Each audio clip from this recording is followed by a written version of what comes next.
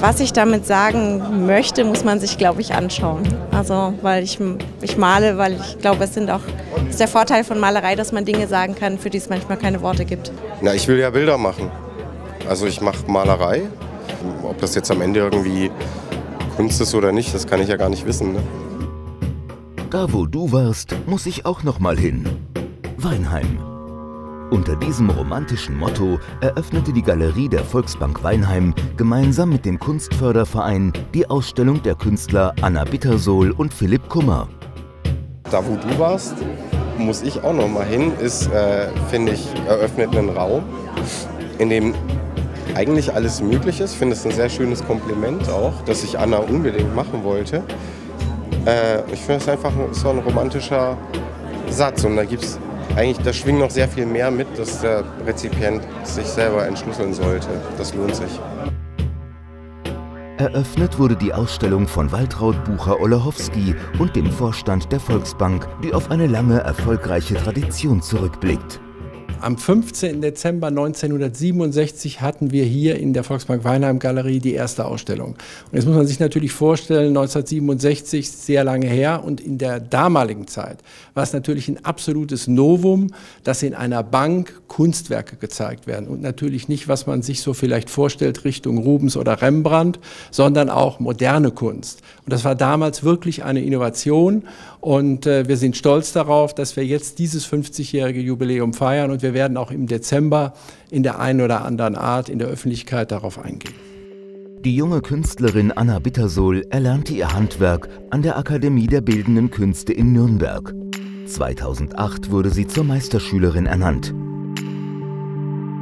Bei der Wahl der Bildgröße bevorzugt sie eher die Extremen. Bei mir sind es sehr große Formate, also ähnlich wie dieses, ähm, und sehr kleine Mittelformate eher selten. Also ich mag das gern, wenn ich mit, entweder mit dem ganzen Körper drin bin und dann wirklich das meine Grenzen überschreitet und ich da auch ähm, teilweise in wirklich in abstrakten äh, Bereichen unterwegs bin und sich das erst zusammensetzt, wenn ich weiter weggehe. Oder halt bei kleinen Arbeiten, wo man dann eher so eine Form wie im Buch lesen hat, wo man wirklich drin ist und so sich darauf konzentriert und der Fokus so ganz, ganz klein ist.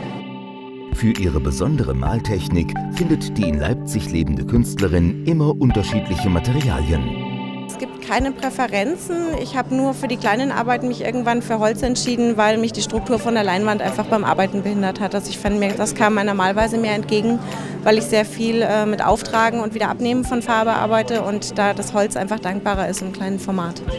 Die Kunstwerke von Philipp Kummer beschäftigen sich mit dem ständigen Kampf zwischen Mensch, Technik und Natur.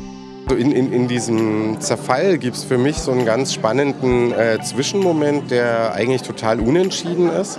Das ist was, was mir inhaltlich äh, sehr gefällt. So, das kann in alle Richtungen dann gehen. Irgendwie ist da nur alles möglich.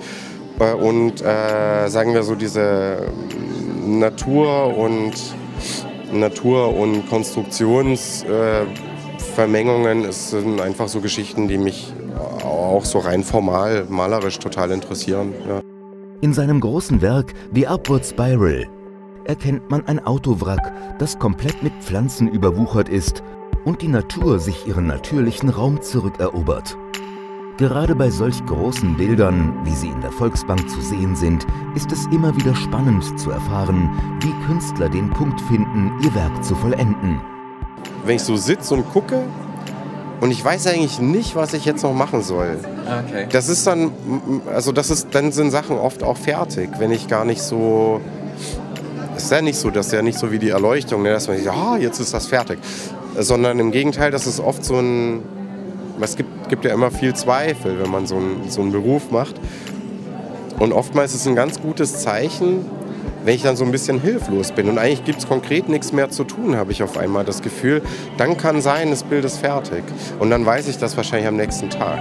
Die gut besuchte Vernissage fand viel Zuspruch beim Publikum und es gab viel Raum für Diskussionen, auch mit den Künstlern. Also mir gefallen die, diese Blumenbilder, auch wenn die ganz andere Titel haben, die gefallen mir eigentlich super. Lebendige Bilder und mit einer modernen Einstellung zur äh, Malerei. Ähm, da haben wir es Figuren eben, Figurenmalerei zu tun, aber mit einer Auflösung, mit einer spritzigen ähm, Tendenz zur Abstraktion.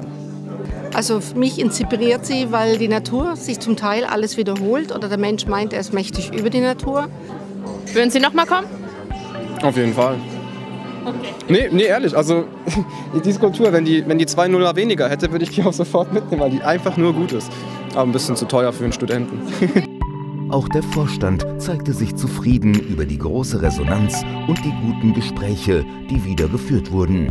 Wir nutzen natürlich solche Ausstellungen auch zu intensiven Gesprächen, nicht nur über die Bilder und über Kunst, sondern es ergibt sich oft ein Gespräch auch über Finanzfragen oder einfach Bankfragen oder, oder Fragen, die die Menschen bewegen, äh, die im Moment natürlich äh, en vogue sind, dass es so gut wie keine Zinsen gibt, was mit dem Euro passiert und anderes auch. Und das nutzen wir natürlich auch für solche Gespräche. Die Ausstellung ist noch bis zum 10. November in den Räumlichkeiten der Volksbank Weinheim zu bewundern. Wer also gute Kunst erleben will, muss dahin gehen, wo wir waren.